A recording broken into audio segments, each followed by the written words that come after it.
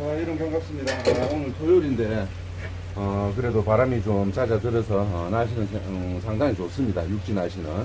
어, 공기는 상당히 쌀쌀한데, 어, 바람이 안 부니까 상당히 좋네. 어, 돌돔입니다. 어, 작은 사이즈의 돌돔이고, 보시면, 어, 이렇게 군데군데 좀 상처가 좀 있죠. 제가 요거 매입이 온 지가 한 2주 정도 됐는데, 수조 안에 오래 있다 보니까 이렇게 상처가 생겼습니다. 어, 돌돔을 요즘에 이제 아무래도 어, 구하기가 힘들다 보니까 얼마 전에 경매장 갔을 때 좀 괜찮은 것들하고 안 괜찮은 것들하고 좀 섞여 있는 게한 수꾸리가 있었는데 그거 제가 이제 구입을 했습니다. 그 중에서 좀 좋은 것들 몇 마리만 팔고 아, 도저히 이거는 손님한테 팔 수 있는 상태가 안 된다. 그래서 이거는 제껴 놓고 어, 전복 내장 같은 거 이렇게 좀 던져줬더만 안 먹더라고요. 어, 그래서 요한 2주 정도 수조 안에서 굶었는데 먹이 활동이 아이고 맞습니다. 먹이 활동이 안 되다 보니까 이렇게 상처 같은 게 어, 점점 점점 이렇게 생기고 있는 그런 과정입니다. 더놔 놓으면 폐사가 일어날 것 같아서 요거는 손질해서 그냥 구워 먹도록 하겠습니다. 돌돔 요즘에 이제 좋은 것들 구하기가 너무 힘들다 보니까 이제 많은 분들께서 좀 좋은 고기를 찾으시는 분들이 있는데 조금 해드리기가 어, 조금 애로사항이 좀 있네요. 어, 아무래도 이제 계절이 계절이니만큼 음, 기본적으로 돌돔이나 자바리처럼 어, 요런 고기들이 이제 다 이제 숨어버리고 이제 안 납니다. 그러다 보니까 제가 요즘에는 거의 뭐 어, 감성돔 위주로 판매를 하고 있는데 어쩔 수가 없는 것 같아요. 어, 오늘도 돌돔 좀 이제 구해달라는 전화가 한 두 통 정도 왔었는데 어, 뭐 이렇게 한번 비유를 해보고 싶습니다. 요즘에 제가 마트 한 번씩 가보면 딸기가 좋은 것들이 많이 나오더라고요. 뭐 여름철에 아무리 딸기가 먹고 싶다고 하는데 마트 가면 딸기가 없잖아요. 뭐 똑같은 이치입니다.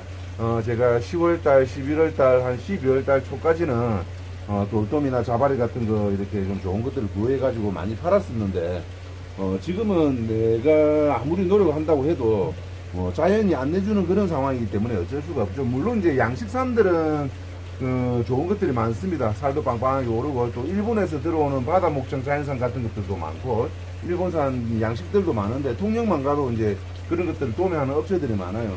근데 이제 저 같은 경우는 자연산만 파는 업체다 보니까 어, 그런 것들을 이제 팔 수는 없고 혹시라도 돌돔 좋은 게 이렇게 드시고 싶은 분들은 차라리 그런 쪽으로 한번 선택을 해갖고 한번 구입해 보시는 거를 한번 저는 권해드릴 것 같습니다. 어, 일단 자연산 같은 경우는 한 3월달 정도 되면 또 이제 낚시발이 돌돔이 들어옵니다. 어, 그때까지 한 한 달 정도는 어쩔 수 없다. 아, 그렇게 말씀을 드리고 싶네요.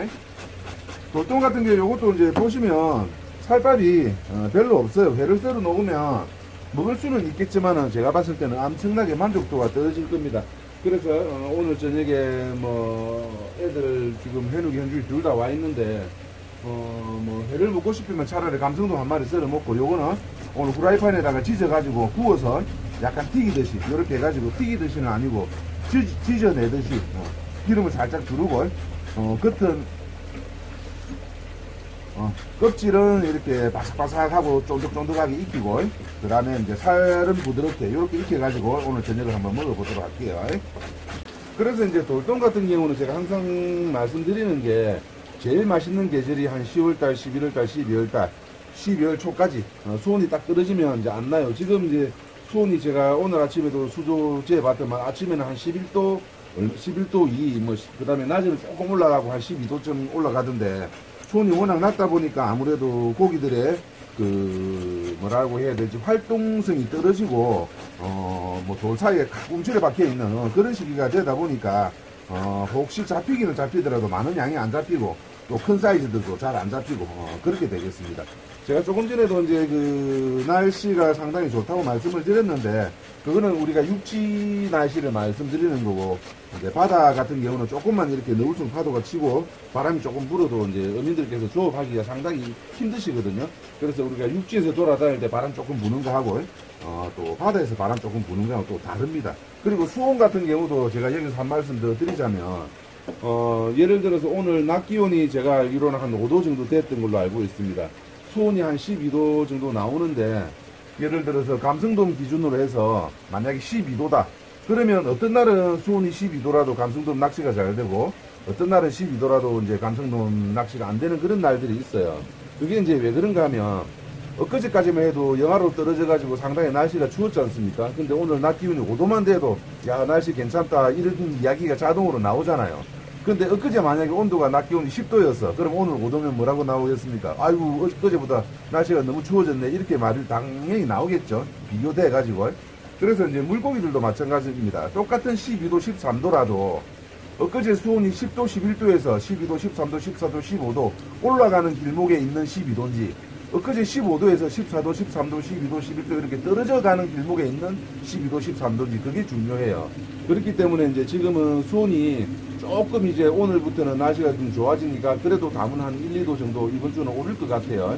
그러면 이번 주는 뭐 또 강승돔이라든지 다른 고기들이 조금 원활하게 날 수도 있고 또 그 뒤는 또 날씨를 봐야 되겠지만은 앞으로 이제 오늘 토요일인데 이번 주 일요일 그 다음에 월요일 화요일 수요일 이렇게 가면서 날씨가 이제 조금 그래도 기온이 오르니까 조금 나을 것 같다. 다만 다음 주 이제 화요일 수요일 이후로 또 비 소식이 있어가지고 이제 어민들께서 조업을 이렇게 원활하게 하실 수 있을지 어, 그거는 조금 미지수다. 어, 이렇게 말씀을 드리겠습니다. 고기가 공장에서 찍어 나오는 게 아니기 때문에 저도 이제 좋은 고기를 갖다가 넉넉하게 구입을 해가지고 여러분들한테 이렇게 예약도 원활하게 받고 해드리고 싶은 마음은 있으나 어, 공산품하고 달라서 제가 이걸 갖다가 뭐 2주 뒤, 3주 뒤, 한 달 뒤까지 살 고기를 매입을 하지 못하거든요. 저 같은 경우는 고기를 매입을 해도 한 일주일 정도 어, 쓸 계획을 하고 이렇게 매입을 하기 때문에 한 번에 많은 고기가 아무리 좋은 고기가 100kg, 200kg 있어도 그걸 한 번에 매입을 못 합니다. 제가 끼켜봐야 하루 저녁에 어, 하루에 파는 고기가 한 1, 20kg, 2, 30kg 정도밖에 안 되기 때문에 많은 고기가 있다고 해도 그걸 자꾸 받아 놓으면 이제 재고가 되기 때문에 그렇게 하지는 못하고 있으면 있는 대로 팔고 없으면 없는 대로 안 팔고 어, 그래 해야 손님들도 어, 싱싱한 걸 갖다가 싱싱한 상태에서 최고의 상태에서 드실 수 있기 때문에 그게 이제 재고가 차이면 여러분들한테도 손해입니다. 저한테도 손해고 그렇게 이해를 해주셨으면 좋겠습니다.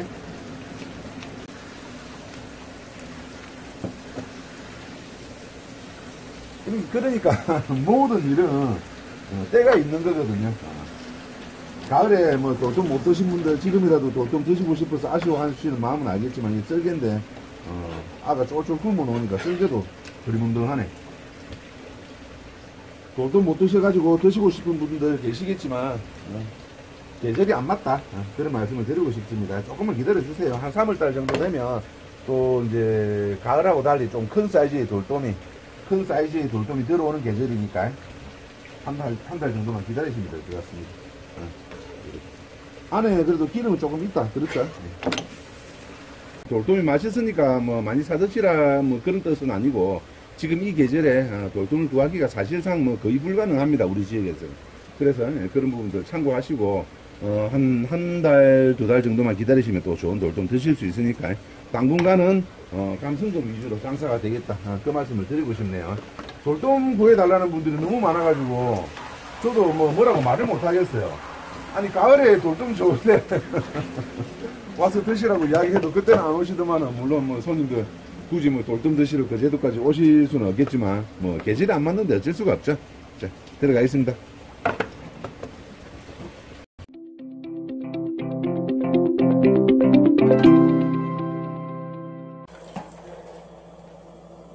한잔 해보자. 오늘도 고생했다. 간단하게 찍고 끝내자.